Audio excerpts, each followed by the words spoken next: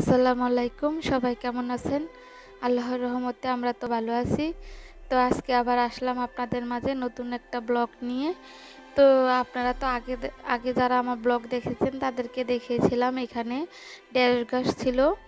তো এখন ঢেঁড়স গাছগুলা কেটে ঢেঁড়স গাছ এখন আর ধরে না এই জন্য এগুলা কেটে তো এখানে পুঁইশাকের চারা লাগানো হয়েছে। তো আমার হাজব্যান্ড লাগিয়েছে, তো আবার গাছ লাগাইতে ইয়ে করতে অনেক পছন্দ করে। তো এই যে গাছগুলো এরকম হয়েছে। তো আমরা সেখান থেকে এসে পড়লাম সকালবেলা। এটা হচ্ছে সকালবেলা। তো আমরা এখানে আজকে খাব এই হোটেলে। তো মালয়েশিয়ার একটা খুবই জনপ্রিয় খাবার। সকালবেলা অনেকে এটা খায়, মালয়েশিয়ার সবাই। তো আমরা ওই খাবারটাই খেতে গিয়েছি। তো এখানে হচ্ছে মিলু নিয়েছি আয়সার জন্যে, আর এটা হচ্ছে নেসকাফে আইস আমার জন্য তো এই যে বাটটা এটা হচ্ছে আয়াম বাকার, আর সাথে হচ্ছে শশা আর হচ্ছে এই বাটটা তো আমরা সকালবেলা এগুলা খেয়ে তো এখান থেকে এসে পড়লাম। তো এসে আপনাদেরকে আজকে একটা অনেক মজার ভর্তার রেসিপি দেব। এই ভর্তাটা খেতে অনেকই মজা লাগে। তো ভর্তাটা হচ্ছে আপনার মিষ্টি কুমড়া পাতার।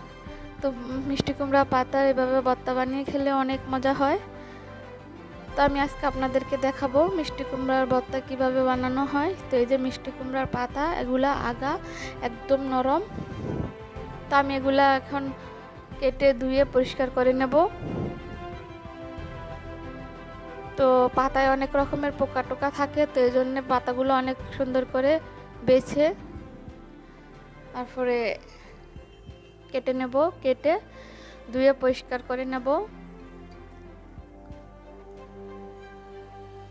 তো এই যে কাটা পাতাগুলো আমি কেটে নিয়েছি, কেটে এখন ধুয়ে পরিষ্কার করে নিয়েছি। তো এখন এই পাতাগুলো, পাতাটি আমি সিদ্ধ করে নেব হালকা একটু।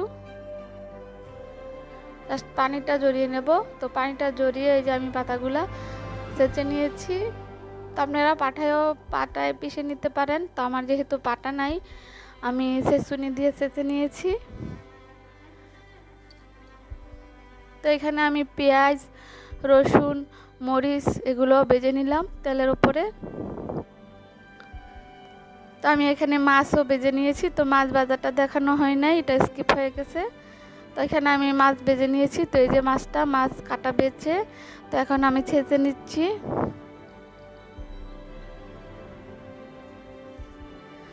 তো এই যে আমি পাতাটার উপরে মাছটা দিয়ে দিলাম এবং আমি মরিচ রসুন পেঁয়াজ এগুলো সেচে নিয়েছি সেচে সবগুলো একসাথে দিয়ে দিলাম তো একসাথে দিয়ে এখন আমি কড়াইতে হালকা একটু তেল দিয়ে একটু বেজে নেব তো এই যে আমি কড়াইতে সরষের তেল দিয়ে বেজে নিচ্ছি তো এখন পরিমাণ মতো লবণ দিয়ে দিলাম তো এই ভর্তাটা খেতে অনেকই মজা হয় আপনারা খেয়ে দেখতে পারেন টাস্টমি অনেক মজা এই ভর্তাটা আপনারা পরে খেয়ে দেখতে পারেন। তো আজকের মতো সবার কাছে বিদায় নিয়ে নিলাম। সবাই সুস্থ থাকবেন, ভালো থাকবেন এবং আমাদের জন্য দোয়া করবেন। তো আজকের মতো এখানেই শেষ। আল্লাহ হাফেজ।